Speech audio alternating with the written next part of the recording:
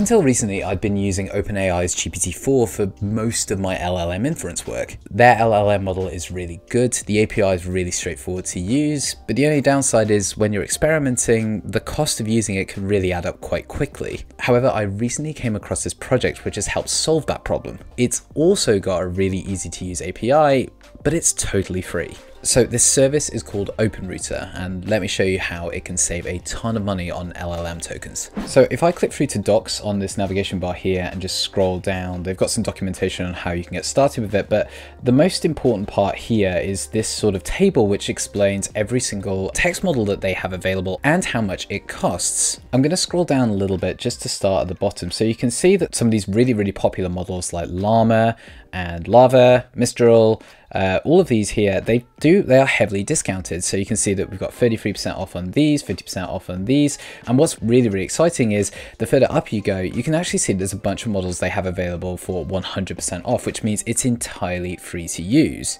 If you're only planning on using the free LLM models, then you don't need to supply any credit card details. The model I've been using personally has been Mistral 7b Instruct, just because it's an insanely powerful model. I don't think it's too far away from GPT 3.5, which is again insanely impressive considering it's totally free to use. So just to help demonstrate the cost, if you click on activity on the account section after you've obviously signed up for an account, you can see that every time I'm using this Mistral 7b Instruct model, I'm putting 45 tokens in and I'm getting 112 out and I'm paying absolutely nothing for it. And this is the same for every invocation of Mistral 7b that I'm using. So next let me show you exactly how it works. So first what I've done is I've set up a .env file which is in the same directory as my Jupyter notebook. I've created a single environment variable, it's called OpenRouter API key and I've just put my API key in from OpenRouter here. To get your API key, you can just hop over to OpenRouter, click on keys and then you can just hit create key. So I'm just going to go test key here. I'm going to leave my credit limit um, uh, blank and you can see that I've just created a new key. So you can now copy that and paste it into your environment variable file. Next, I'm going to import those environment variables into my environment. So to do that, I'm going to import load_dotenv from .env, and I'm going to call that load_dotenv function. So I'm just going to hit play there. You can see true. That means that it's imported all the environment variables. Next, I'm going to make a call to the OpenRouter API. And to do that, I'm going to import requests, OS, and JSON.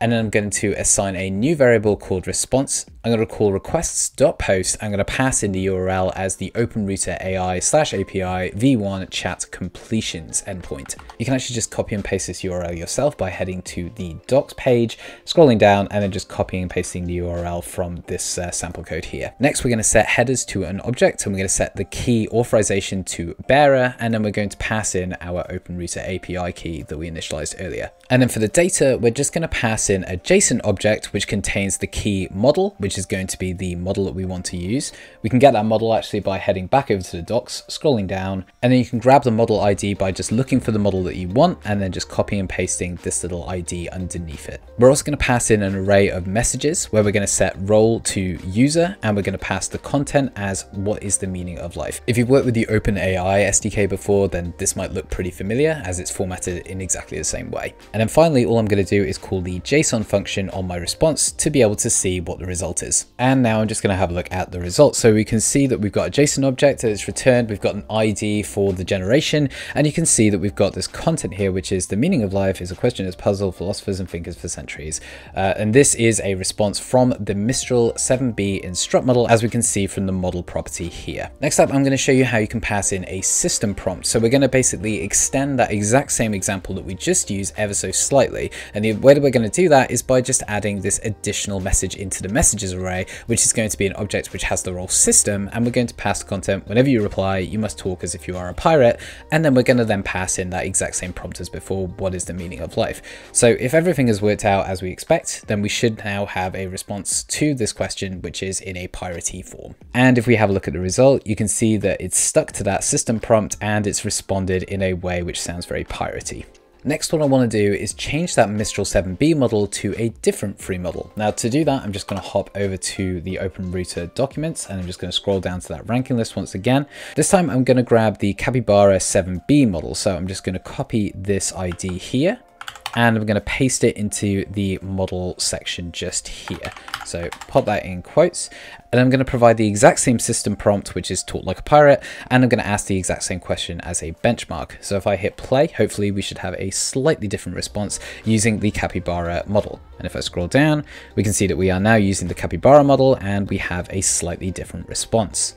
And finally, the last thing I want to demonstrate is that OpenRouter also has a way of determining the best model itself using an auto parameter. Now for a little bit of context, if I hover over this information button, we can see that it will use MythoMax 13B, MythoMax 13B 8K or GPT-4 Turbo based off the size, subject and complexity. Now in my tests, I've only ever seen it use 13B. So if I hop back over to Visual Studio Code, we can see that we are using, we're going to try the auto model out and we're going to pass in that same system and use a prompt just to see what we get and we have a result. So if I scroll down, we can see the model that was used was MythoMax L213B, and we have a priority response. So that's working.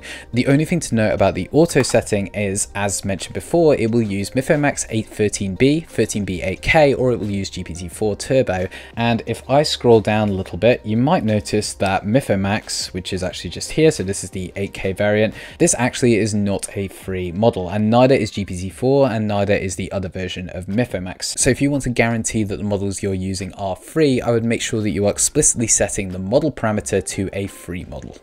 And that's everything I wanted to cover. I thought this was a pretty cool tool and I haven't really seen very many people talking about it, so I figured I'd make a video on it. If this video has been helpful in any way, please do let me know in the comments. Thanks very much and I'll see you in the next one.